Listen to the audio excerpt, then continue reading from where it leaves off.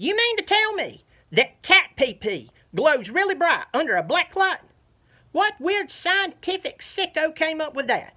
I bet you it was somebody that was a family member of someone who had a cat and they loved it with all their heart and they got the idea. Let's save some of its cat pee pee and after it dies, we can use its urine to write a message from the feline great beyond. Something like, even heaven's not perfect without you. Signed, Mr. Tickles.